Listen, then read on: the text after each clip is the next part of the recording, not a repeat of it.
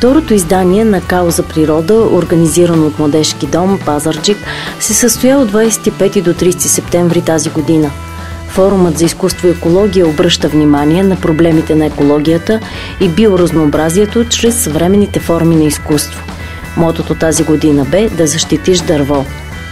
Програмата предложихме разнообразни събития, които включваха ателиета, изложби, прожекции и интерактивни лекции и представяния. Специално участие тази година взеха ученици от втори клас на основно училище Климент Охрицки с преподавател Ели Тоткова. Нейните възпитаници направиха първите си опити в научната иллюстрация чрез рисунки на защитените дървесни видове на територията на града. Жителите на Пазарджик тази есен ще могат да се запознаят с информация за дърветата, картографирани на рекламни табла, поставени на три места – Младежки дом, парк Острова и парк Стадиона.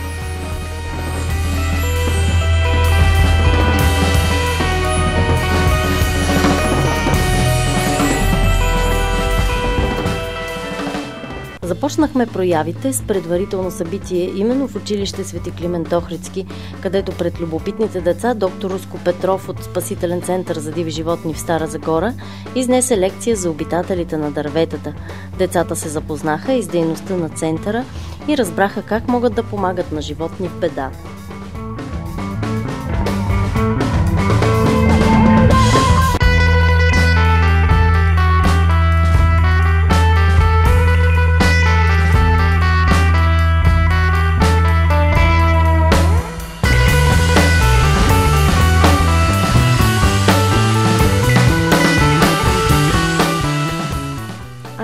Анималия – необичаен проект, роден между иллюстратора Милена Радева и скулптора Илия Бояров. Научна иллюстрация и скулптура – това представиха двамата млади автори в рамките на форума Као за природа. Една съвременна приказка за животни, които се намират на територията на България и няколко вида, които са извън нашата страна, но са добре познати. Проектът акцентира върху ключовото значение на биоразнообразието за нашето съществуване.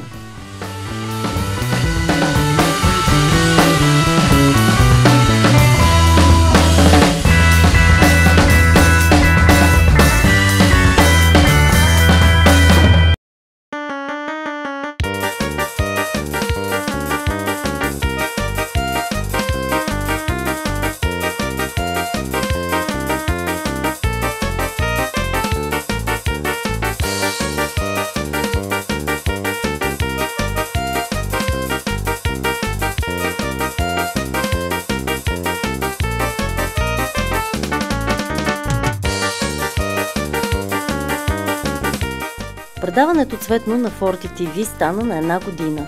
На отбелязването на годишнината си Ани, Дани, Нона и Звезди, които са едновременно автори, репортери и водещи, заявиха, че застават зад кауза природа и ще поставят акцент върху отношението към природата и биологичните видове в своите предавания за напред.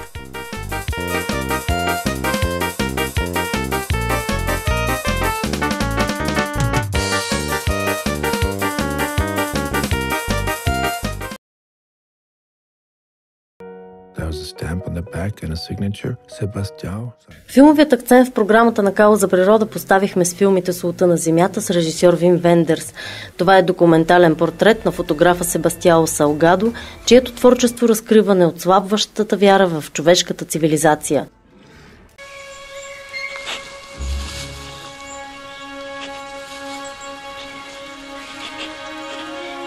Филмът Лисицата и детето бе предназначен за детската публика.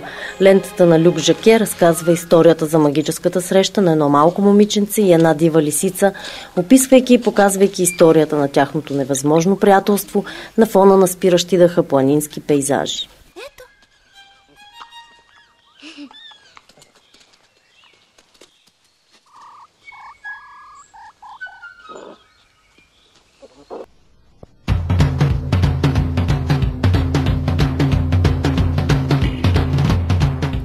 По време на Као природа организираме детски ателиета, в които чрез творчество обръщаме внимание на децата върху околната среда. Тази година направихме подготовка за глобалното картонено предизвикателство и Деня на игрите. Децата разгърнаха въображението, генерираха идеи майсториха от празни картонени кутии, ВЛПП кашони, използвани картонени опаковки и всякакви други материали за рециклиране. Who's that whispering in the trees? It's two cities and they're only pipes and chains and swinging hands. През 2015 година Пазарджик за първи път се присъедини към националната кампания за нощта на прилипите, която се отбелязва в още 14 населени места. Отбелязването на нощта стана част от инициативата Као за природа. Зелени Балкани посрещнаха посетителите на нощта с фотоизложба за прилипите, изложба от информационни банери, експозиция на детски рисунки, артистични ателиета, презентация на прилипите и разходка с прилипен детектор.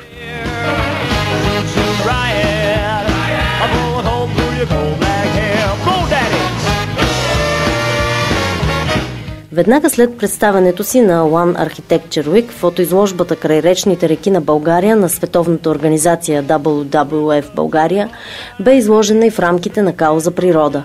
25 пана с красиви снимки от едни от най-редките български гори. Освен, че са красиви, крайречните гори съхраняват богато биоразнообразие. Те са от изключително значение за редица животни и птици – Посетителите на изложбата научиха какви видове крайречни гори съществуват в България и по какъв начин се грижим за тях.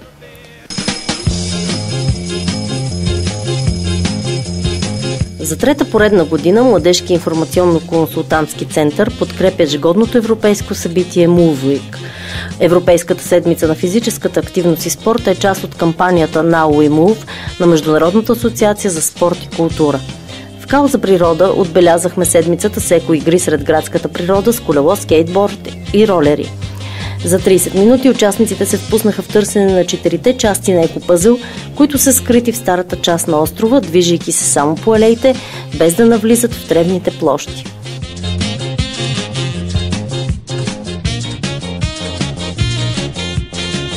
Един от най-интересните акценти в кауза природа са организираните срещи и лекции на различни екоорганизации с деца от пазарджишките училища. 2015 година е обявена за година на Танасовското езеро. Организацията Биоразнообразие от Бургас отбелязва годината с редици инициативи. Те представиха пред пазарджишките ученици пътеводителче за Танасовското езеро, създадено към проекта Симбиотично. Гостите от Бургас разказаха за животинските обитатели на езерото и солниците, които са направени там. Беседа разговор Иван Тодоров разказа какво е да си планински спасител, защо трябва да пазим гората и как се реагира при горски пожар. Той им показа под формата на игра как да изградят огнище най-безопасно. Фундация Дивите животни в лицето на Любомила Кривошиева разказа на учениците за дивите обитатели на дърветата. Учениците видяха и кокомявка, за която екипът на фундацията се грижи. Финалът на Као за природа поставихме с дегустирането на фрешове, направени по рецепти, изпратени от приятели на здравословното хранене. Конкурсът предложи ми фреш съвместно с заведение Шареното, без цел популяризиране на здравословното хранене, чрез лична рецепта за направа на фреш. Наградата Фрешът победител ще бъде включен в менюто на заведение Шареното за един месец. В състезанието се отличи Калина Попова, ученичка от езикова гимназия Берто от Брехт. Форумът за изкуство и екология Као за природа се осъществи в сътрудничество с изкуствоведа Ани Стойкова, организатор Младежки дом. Као за природа е финансирана от Община Пазарчик.